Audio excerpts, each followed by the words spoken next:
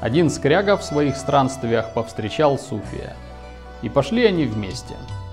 Чтобы скоротать путь дорогу, скряга разговорился.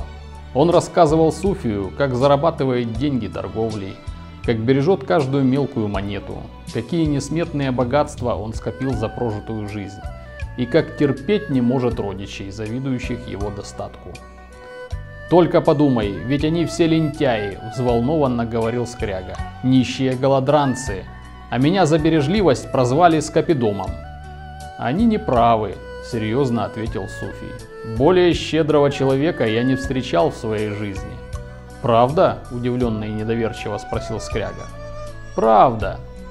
Ведь ты только мнишь себя бережливым.